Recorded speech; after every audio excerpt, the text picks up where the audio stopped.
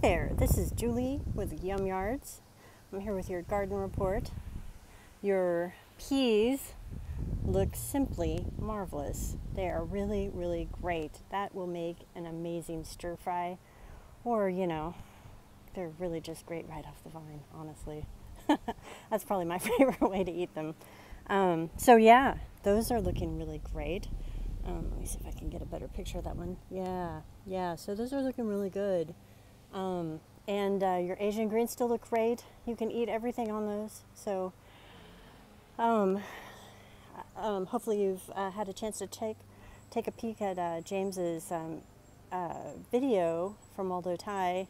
Let me say, I was slightly nervous about trying that.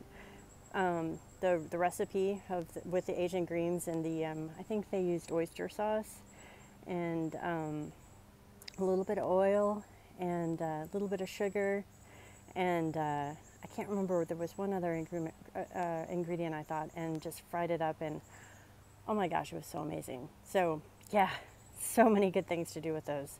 Um, anyway, so keep working on those, and I have been putting beans in every chance I get. So I put in some more beans today, and the beans you've got here are looking really, really good. So um, the ones that are that I planted a couple weeks ago look amazing. So they're coming along.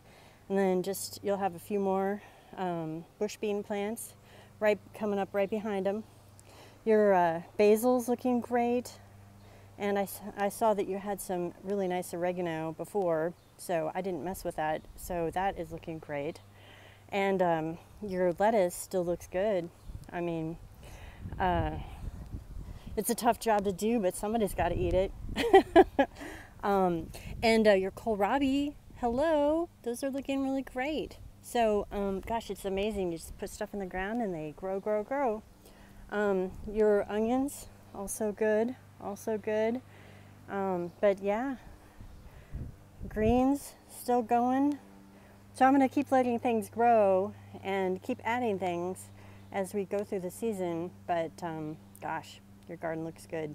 So have a good couple weeks and uh, enjoy this sun. So nice to see the sun come out. And uh, we'll be chatting soon. So have a great, great couple weeks. Take care. Bye.